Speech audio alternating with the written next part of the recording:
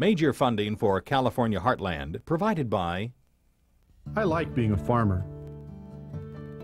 It's hard work, but we love it. It's a great feeling knowing that you're helping to feed and clothe the world.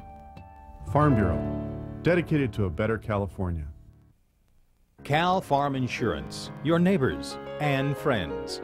A company deeply rooted in California. Your choice for business, farm, personal, and health insurance. Cal Farm Insurance Company. California Heartland is proudly supported by Pacific Gas and Electric Company. Coming up, a holiday profile of Secretary of Food and Agriculture Ann Veneman, who gives California Heartland a cook's tour and brings us up to date on agriculture in our state. We'll offer some tips on food safety, a Christmas partnership of chestnuts and mistletoe, and a Kevin Starr essay. That and more next on this holiday edition of California Heartland.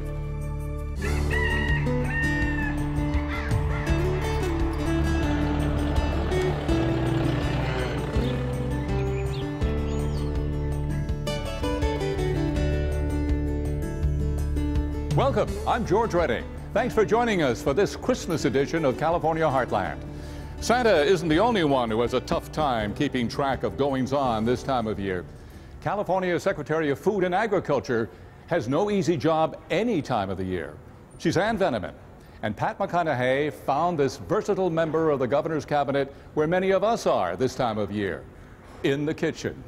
Politics and agriculture and, and what do we As see? my background, yes. right. You seldom find her in such a relaxed setting. That's because Ann Veneman has a high pressure, high profile job, heading up the California Department of Food and Agriculture. I uh, grew up on a farm in Modesto, California, and some of my strongest memories as a child are of, you know, following my dad around in the peach orchard. Ann's father, John Veneman, was a farmer and active in state and national politics. Ann followed in his political footsteps. She became the number two person in the U.S. Department of Agriculture during the Bush administration and remains the highest ranking woman ever in the USDA. Today, Ann travels the world promoting California's agricultural bounty. The latest marketing campaign is called, appropriately, California Taste the Sunshine. People have generally, both here and abroad, a very positive image of California. And so the idea is, is to get some way to associate food with California. And what better way to showcase California foods than to have Ann play guest chef at my house near Sacramento? A chance for her to fix a favorite holiday dish. And a friend of mine, actually, who is now the Secretary of Agriculture in Kansas, brought this over. How funny. And um, And what this is, is a tenderloin of beef with a black pepper crust. Simply delicious. And you take a little of the olive oil and you rub it on the, the meat itself. And then you simply take a cracked pepper, basically just work the pepper into the meat itself. Boy, that's what I like. Those So it- good recipes that are simple. It's very think you can simple. Besides the beef, our feast included a cornucopia of other California products. After all, We have greater diversity of product than almost anywhere in the world. We grow over 350 different crops and commodities. We've got lettuce, we've got endive, and we've got radicchio. I made the salad while my husband and daughter set the table, but Ann contributed the lion's share of the meal locally grown brown and wild rice. And A blend of mushrooms, it's called mushroom ragu. And then we have a carrot dish in a, in a ginger sauce. Ann, as you can imagine, is a very busy woman. She didn't have dinner with us just for her health, as the saying goes, but for yours, for mine, for all of ours. We'd like to have a toast to- to the happy holiday season. To ensure a happy, healthy holiday season, Ann's department has launched a food safety campaign because most foodborne illness doesn't come from the farm, but originates in the home. To top off the meal, we thought we'd pass up the gooey dessert and serve up a big helping of food safety tips. At the top of the list, basic cleanliness. Make sure that there are clean surfaces because cross contamination is one of the uh, biggest areas where we see food safety problems.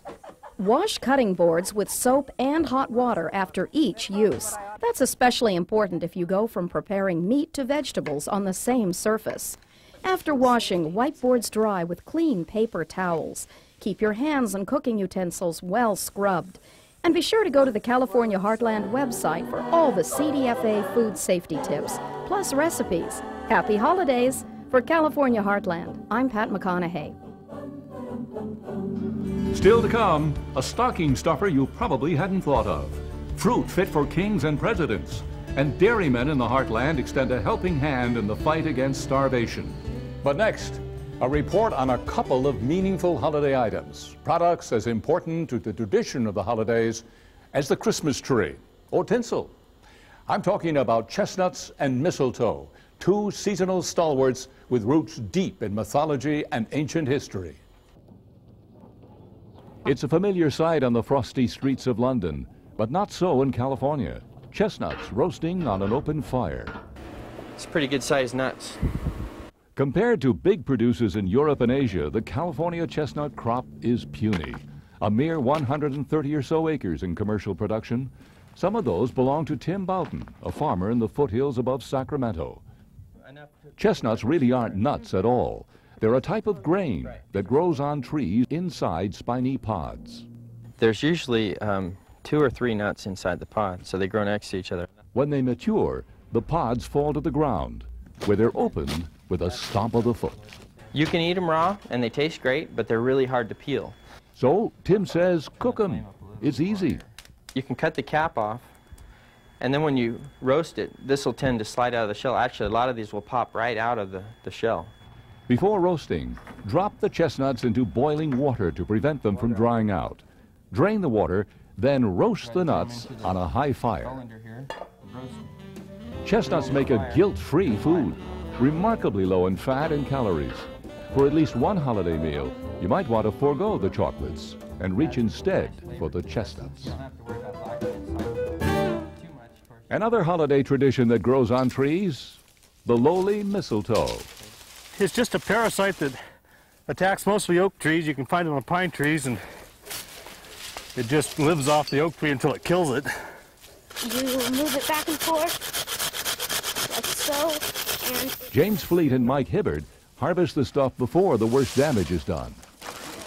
How about that one? It's nice and green. Thank you. A lot of mistletoe ends up for sale at places like Indian Rock Tree Farm near Placerville, where Larry Hyder shares its mystery and lore. Mistletoe is a symbol of love. If a couple was to kiss under the mistletoe, 'twas a promise that they were going to marry and live happily ever after. So if you'd like to eat, drink, and possibly be married this holiday season, plant yourself under the mistletoe. Who knows what might happen? Merry Christmas. Merry Christmas. And if you're nuts over chestnuts, I promise you, you can get a bushel of information on our website. You'll find us at the web address www.californiaheartland.org. We'll have a couple of chestnut recipes as well. One of the most challenging aspects of Christmas shopping, I'm sure you'll agree, is searching for just the right stocking stuffer. Nothing is impossible here in the heartland, however. What about loofah? Yeah, loofah. Just one of the many small gifts that could be just right for an important person on your list. At Christmas time, there's no telling what you'll find in your stocking because there are so many different types of stocking stuffers. But there's one item that's in a class all its own, the loofah. It's used as a body scrub, but where does it come from? Loofahs are actually a fruit and a member of the gourd family. They may look like an ocean sponge or sea animal, but they're not, so you won't find them here. Instead, loofahs grow on a vine. They thrive in warm areas and grow up to 15 inches long. But it's the inside of this plant that really counts. Once it dries back, all the insides will, will just collapse and disappear. And then all you have left is this, this sponge part. And it's this inner sponge or natural fiber that is making a splash in the world of health and beauty. Loofahs um, are used to exfoliate the dead uh, skin cells off the top layer of the skin. Um, they can also be used to increase uh, circulation. Also, it can be used for um, reducing the appearance of cellulite. So does that mean loofahs are strictly for scrubbing? Not quite. Just ask Eleanor Dong, who grows loofahs at a community garden in Fair Oaks. But the Chinese people like to eat the uh, eat it at around this size, and they either saute it or put it in uh, uh, soups. Young loofahs taste similar to summer squash, and they remain a tradition among Asian families. But loofahs also remain a popular item for pure indulgence, and a stocking stuffer unlike any other. For California Heartland, I'm Allison Thompson. Loofahs are not just for scrubbing your skin. You can also use them to clean fruits, vegetables, even china and silverware. But there is an important tip to keep in mind. Loofahs are prone to mildew, so they need to be replaced every few months. If you'd like to know how to grow your own loofah, check out our website at www.californiaheartland.org. Now, as you probably know, there are no references to, to the three kings delivering fruit to the manger on that first Christmas. But then perhaps it just wasn't available. There is an El Dorado County man who delivers his fruit to kings and presidents. The secret to his success is all in the timing. We're extremely concerned with flavor uh, and taste in, in the fruit we produce here. Now, we let our fruit hang quite a bit longer than most commercial operations do. Uh, actually, I think we, we, we say we pick the fruit just before it falls. And so you know that it's very, very ripe. And that's the key thing. And that is what separates Ron Mansfield from most other fruit growers. The willingness to gamble and allow each fruit to reach full flavor maturity before picking. These guys all understand how important it is to our markets, to our customers, to get uniformly ripe cherries. So they put in a lot of extra effort. And we may pick a little bit slower than some crews. We're not paid by the container or by volume. We're, we're, our crews are paid by the hour. We want quality. That's all we're going for is quality here. It's very seldom you see this type of color in the, in the marketplace. But that's a real solid indicator of maturity. And you're going to have tremendous flavor here in this, this type of fruit. Mmm, great flavor. Never get tired of a really ripe cherry. Mmm. It's a shame when we get to the end of the harvest season and run out. But here at Mansfield's Gold Bud Ranch, the beat goes on. After cherries come plums, peaches, and nectarines, followed by super sweet Fuji apples, pears, and grapes. All are picked with the same careful attention. ¿Cómo está la fruta? The attention to color, texture, size, and taste has paid off for Mansfield. His fruit is in big demand. Between June and March, he will ship out about 900 tons. Half of his fruit is sold to the Bay Area. The remainder is overnighted throughout the country, but not just to any buyer. We're very selective about the people we choose to distribute our product. They must fully understand the product they're receiving. Our product is so much riper than uh, what uh, fruit is usually shipped uh, the distances to the East Coast. And if someone is expecting to be able to hold this fruit and store it for three or four or five days, it's, it's not going to last. David Berkeley Specialty Food Company in Sacramento has sold Mansfield's fruit for 10 years. Among his clients, the past three presidents. Last year, uh, George Bush himself called, and you know what that was like to take the call and say, Oh, this is George Bush. Uh, I'm waiting to talk to David Berkeley. And he had just received a shipment of O. Henry peaches, and they were so delicious. This was at Kennebunkport that he uh, had. He said, "You know, David, I usually drop you a note, but he said I just felt like I'm going to call you. I just had one of these O. Henrys, and they're so fabulous that I just felt like I had to call you and tell you." The payback for me, not only in the price we get for the product, is the compliment that that I get on my product. And the compliment that I can share with my people in my operation so that we all feel real satisfied that we've done a tremendous job. You know, this old wood-burning stove of the Roaring Twenties saw a lot of bread baking. Recently, we discovered a different twist in the art of baking the staff of life. In East Hollywood, there is a baker who turns a common loaf of bread into an unusual loaf of bread. by simply using an array of California herbs and produce. His creations are proving to be a big hit at farmers markets throughout Southern California. Here's Pat. Well, it's a given that any bakery is going to smell good. There's no way around it. But there's something different about the scents that are wafting through Jack Bezjian's bakery here in East Hollywood. And the secret is in the herbs. Jack works with more than 30 different herbs in creating his various breads and rolls. Herbs that he either buys at the farmer's market or grows himself. And one of his favorites is spearmint. Since my grandmother used to make soups with um, feta or yogurt, I decided maybe spearmint would be great uh, in the bread. Creating that perfect taste is a matter of trial and error. And where does he get many of his fresh ingredients? California oranges, orange peel, uh, California olives, uh, and, um, and thyme, California thyme.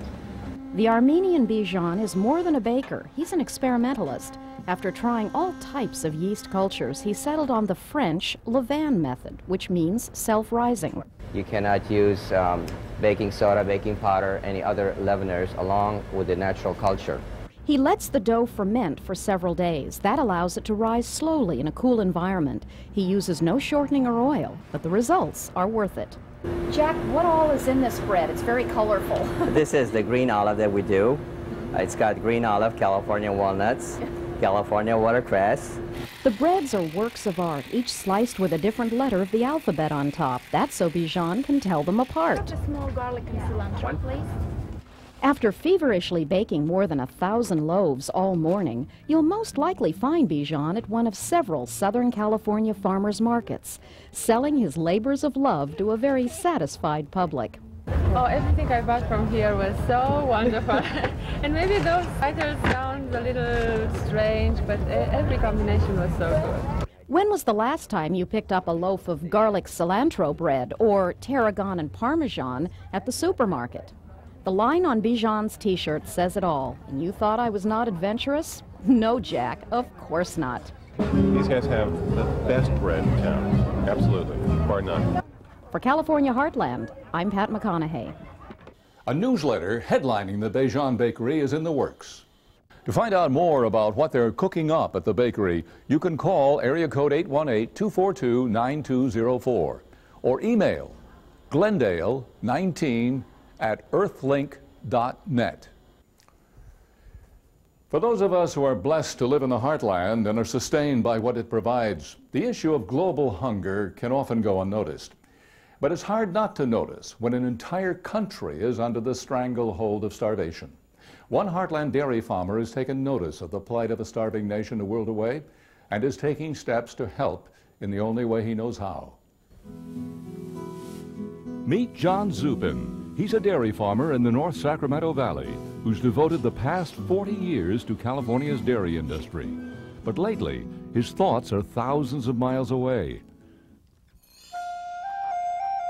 John is focused on the plight of millions of people on the verge of starvation in North Korea. For the last two years, severe flooding has damaged crops and forced thousands from their homes. These disasters worsened an already troubled economy and food situation in this communist country John first learned of the famine on a recent television documentary. They were taking wood chips and making a soup out of them to feed the kids and keep the kids alive in North Korea. And at that time, I just sat there and I just couldn't believe it. But he didn't sit still for long. John immediately started going door to door, asking other dairy farmers to donate 1% of their daily production for one month. To his surprise and delight, he found 58 dairy farmers willing to participate. We're hoping to get a container load, which is 37,000 pounds of whole milk powder. I guess they give from the heart. Phil Lewis is one of those dairy farmers who's giving from the heart, but it wasn't an easy decision to make. Probably the past seven, eight months, the price of milk has been dropping quite a bit, and the price of feed is high, and we're all feeling it in our pocketbooks and that. But then when you start thinking of the children eating soup, wood chips, you know, it just touches a person. Hey, you guys go ahead and finish spraying. Frank Gonzalez is also feeling a strain in his pocketbook, but he feels strongly that something must be done. My family dates back to the early 20s in dairy business in California, and I just feel that part of our life is to produce food to feed other people. I guess it's just because you feel that if you can help others, maybe in return, things will come better for you. You already made the deal, the price and everything is made. Together, these dairy farmers, along with dozens of others, are working tirelessly to feed the people of North Korea. But it couldn't be done without the support of local companies like Dairy America and Land O'Lakes.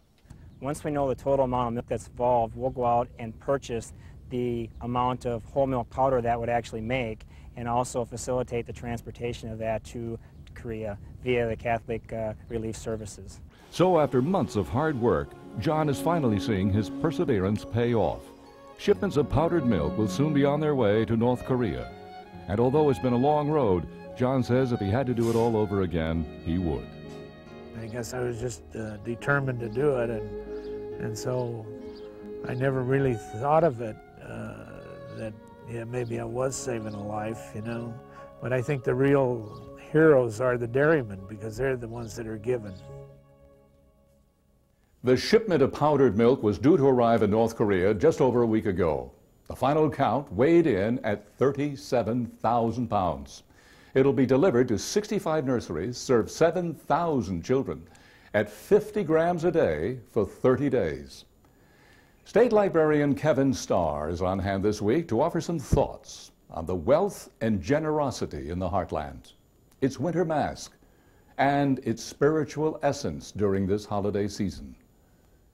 I have been asked today, at the beginning of this winter season, to speak about winter farming and ranching in the California heartland. By March 1874, the Pacific Rural Press, the most important publication covering rural life and the heartland in this period, having taken stock of the continuing winter, admitted to its readers that, yes, the heartland had its winters, and for the rancher, farmer, and stockman, these winters could be more than a little difficult. In the foothills, for example, sudden winter snowstorms were especially problematic. Even if there were feed on hand, cattle sometimes got isolated and lost.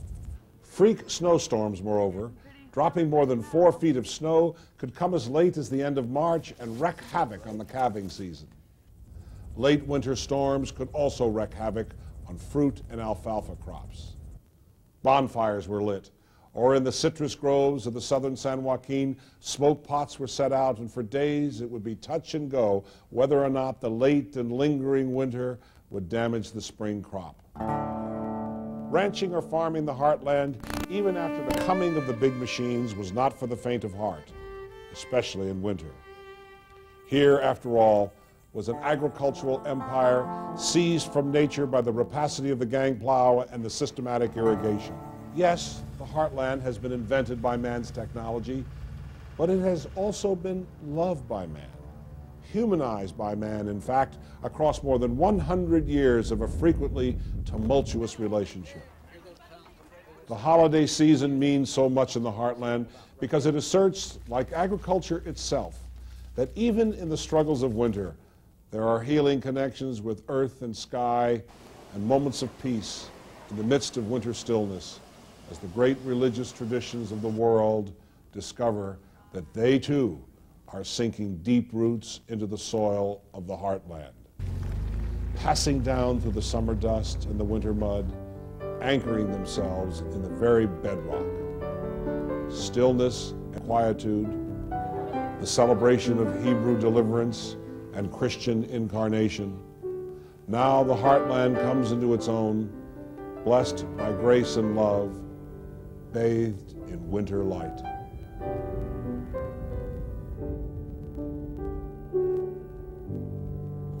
Our time has run out for this edition of California Heartland. Here's what we have in store for our next program. Doing our bidding at a world-renowned wine auction. Doing dairy differently with sheep cheese. We're all at sea in search of swordfish and preserving the relics of agriculture at the Heidrick Ag Museum.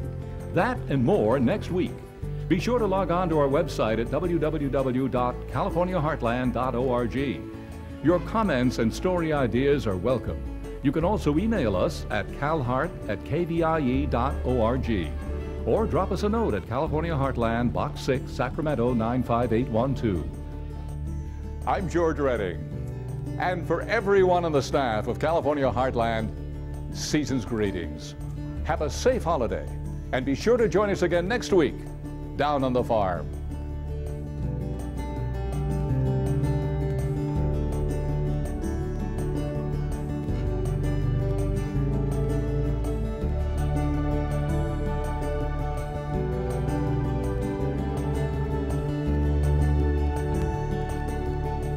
To order a copy of this broadcast, send a check for $15 plus local sales tax to California Foundation for Agriculture in the Classroom, Post Office Box 15949, Sacramento, California 95853.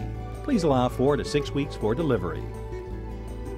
Statewide communications supported by the Almond Board of California and the California Beef Council. Major funding for California Heartland provided by I like being a farmer. It's hard work, but we love it. It's a great feeling knowing that you're helping to feed and clothe the world. Farm Bureau, dedicated to a better California. Cal Farm Insurance, your neighbors and friends. A company deeply rooted in California. Your choice for business, farm, personal, and health insurance. Cal Farm Insurance Company. California Heartland is proudly supported by Pacific Gas and Electric Company.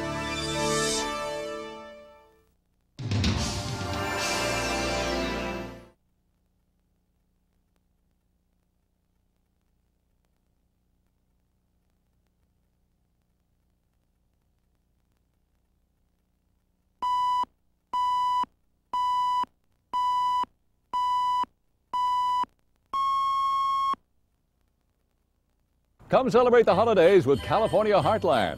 Hello, I'm George Redding. Join me for the next edition of California Heartland as we go into the kitchen with Ann Veneman, California Secretary of Food and Agriculture. Then a kiss and tell story about the mysterious mistletoe. And visit a unique LA bakery with a delicious California twist. Join me for the next edition of California Heartland.